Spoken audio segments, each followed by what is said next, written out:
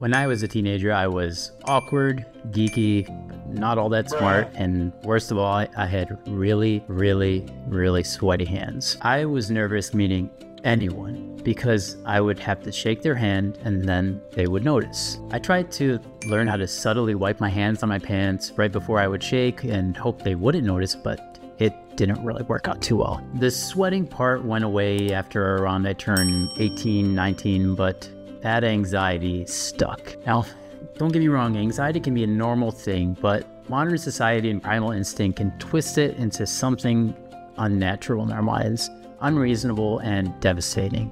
It takes on its own voice and lives rent free in our heads for as long as we let it, and it reminds us at any time that if we think to change or do anything to fix ourselves, it just slams that door shut. My voice always reminded me of Vernon Dursley from Harry Potter, except not as British. What happened?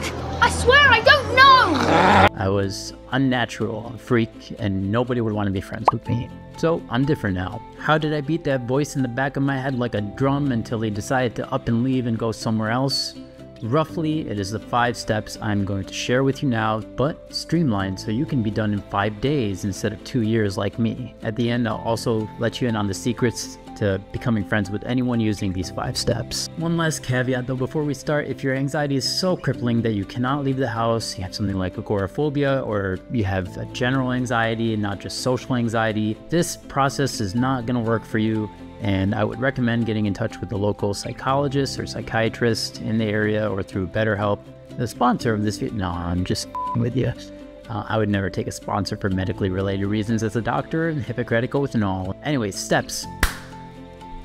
Step one, find a place near you, ideally within five minutes or less, that is fairly crowded. A mall would work well, and you could also do this at your job if there's a lot of people that you don't know there. What I want you to do is simple. Look five people in the eyes as you walk by. If they meet your eyes, smile, nod for bonus points. I want you to hear me in your head congratulating you like this. Oh, you're the best. One better. Okay, maybe not like that. That's it. Proceed to step two today or wait till tomorrow. It's up to you. Step two, go back to your new favorite place. Try to look five people in the eyes as you walk by again. Even if they don't meet your eyes as you walk by, say good morning. Bonus points if it's the afternoon or evening and correct yourself to them and laugh. The ability to engage in self depreciating humor makes anyone admire you. It is a cheat code of social interaction. I'll give you that one for free. You're welcome. Feel no pressure to stop walking and keep talking to them. Keep on keeping on. Step three today, now, tomorrow, doesn't matter. Step three, you know where you are already. Try looking five people in the eyes as you walk by. Even if they don't meet your eyes as you walk by, say good morning. But here's the difference. Unlike the last step, after that, I want you to compliment something about them. About their appearance, their bag, their walk, their smile, their anything. Doesn't matter. Feel no urge to stop walking and talk to them, even if they stop. Well, you can if you want. Next step, step four. This is where the steps get really good and might be a little more challenging. If it helps to do it with just one person at first, you can do that. And this is what it is. Step four is the exact same as step three, with one difference. When you say good morning, afternoon, evening, I like your XYZ, you stop walking before they pass you you stop walking. That's it. If they keep walking, let them go. You did your part. But if you've done it right, eye contact, they're in front of you somewhat when you stop, they're probably gonna stop. And you may be thinking now, well, dude, what do I do now? Your heart very well may be beating a mile a minute. You may not be able to stop. You may think, oh God, I can't do this. Why am I doing this? I recommend if this happens, go back to step three. Really, when any step is too hard, take a deep breath, go back to the last step for another day or two, that's okay. This process can be done in as little time as a day, but if it takes you 10 days or 20 days or even a month, it doesn't really matter because it's better than living the next 10, 20, 30 years of your life or forever never talking to anyone or letting them see your best self. People deserve to know you. This can take as little as a day. It can take longer, but as little as a day. So, what do you do if you've gotten to this point and they've stopped? listen to what they say. Oh, thank you. Oh, wow, man. Oh, that's so nice. Nobody ever says anything nice to me. So they'll say something along those lines and find something else to compliment slash say. So you may be asking, okay, well, what, what do I say now? What do I, what do I say? Well, I want you to think of this ahead of time for this step. Think of your five favorite things to talk about. Mine are books, Harry Potter, obviously, video games, great food, jobs that people might do, travel, and then with that list in mind, think you look like you enjoy X. Do you? Or are you someone that does why? Just listen to what they have to say. If they say yes, great, keep talking if you want, or leave if you want, no pressure. If they say no, same thing, and you've made it.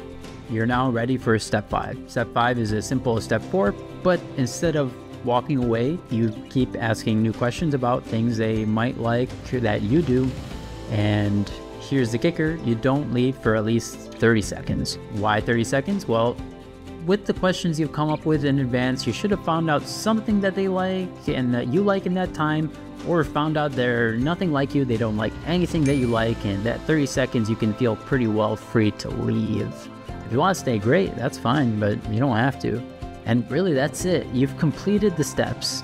This can be done in a day or a week or a year, but the most important thing is that you do it. You owe it to yourself tomorrow, next week, or next year to become the kind of person that can make friends anywhere. And you may be thinking, wait, dude, you haven't told me how this helps me make friends. Oh, well, let me tell you the secret. I have.